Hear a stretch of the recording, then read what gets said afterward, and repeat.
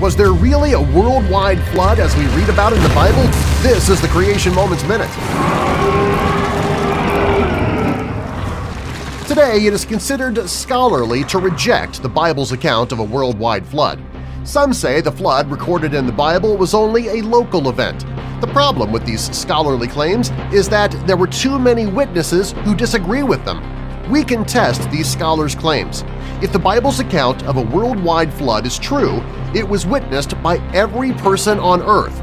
The story of this event would have been passed down to their descendants and spread across the whole face of the Earth.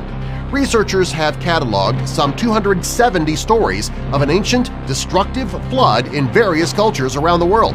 A large majority of these stories have been shown to predate any Christian influence. We'll take a look at some of those tomorrow. For Creation Moments Minute, I'm Darren Marlar.